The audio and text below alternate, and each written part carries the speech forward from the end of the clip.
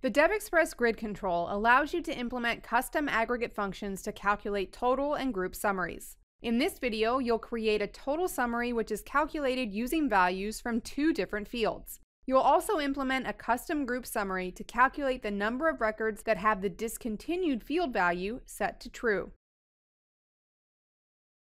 Let's start with a grid control that doesn't have any summaries. First, enable the View footer. Expand the Options View property and turn on the Show Footer option. After that, select the Unit Price column, expand its Summary Item property, and set Summary Type to Custom.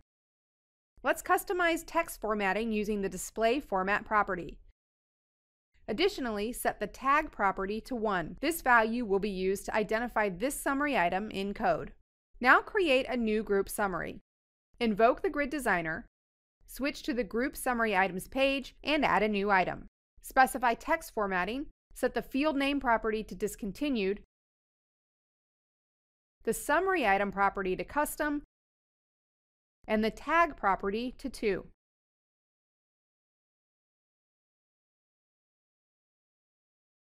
Let's go to the code view and declare two variables that will store summary values. To implement the summary calculation algorithm, handle the view's custom summary calculate event.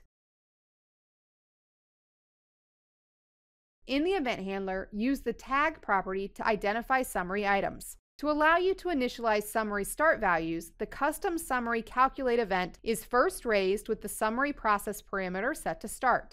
At this stage, you can reset the counter of discontinued products and variable that will calculate the total price of all products in stock. Then, the custom summary calculate event fires for each data row in the view or in a group with the summary process parameter set to calculate. This is where you can accumulate your summary values. The currently processed row and field value are specified by the event's row handle and field value parameters. For the total summary, you need to multiply a product's unit price by units in stock and add the result to the previous total price. For the group summary, increase the counter provided that a product is discontinued.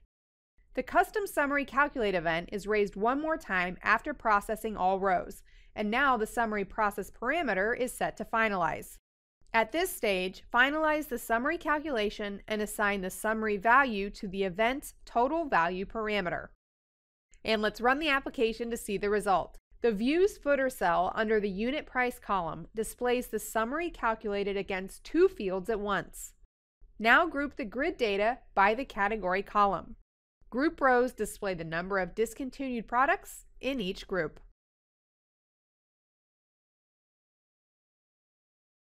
And that's it for summaries. Thanks for watching, and thank you for choosing DevExpress.